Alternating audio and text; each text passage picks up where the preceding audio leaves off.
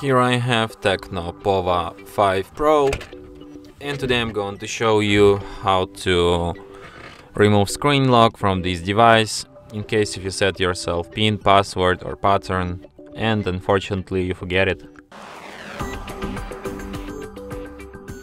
So what can you do in this kind of situation?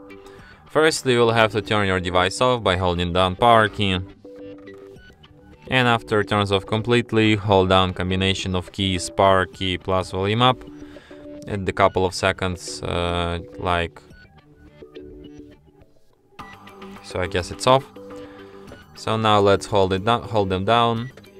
When the screen turns on and you can see Tecno logo appear to release power key and keep holding only volume up. When you see this screen Hold down power key and press volume up once.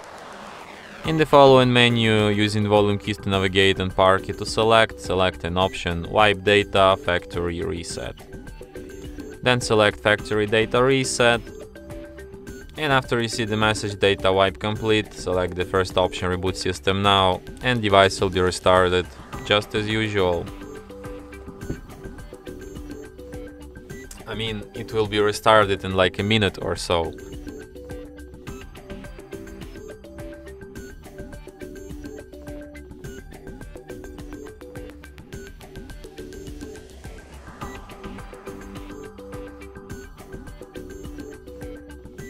And that's it. Thanks for watching.